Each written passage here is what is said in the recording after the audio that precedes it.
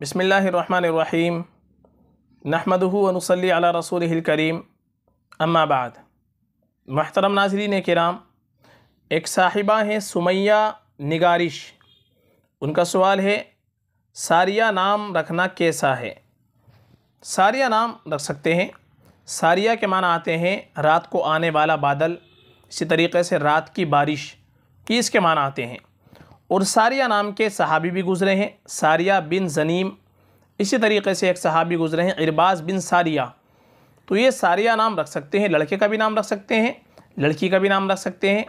अगर लड़के का हम नाम रखेंगे तो सारिया लड़के का नाम रखने के लिए फिर ये सहाबी का नाम है, बबरकत नाम है।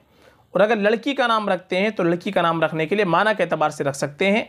रात को आने वाला बादल, रात की बारिश, इस एतबार से सारिया नाम रखा जा सकता है। ये नाम रखने में कोई ख़राबी नहीं है। तो असल तो ये लफ्ज़ सीगा जो है, ये मुन्नत का है, लड़की के लिए है। तो ये लफ्ज़ हम दोनों के लिए इस्तेमाल कर सकते हैं। लड़की के लिए भी, लड़के के लिए भी।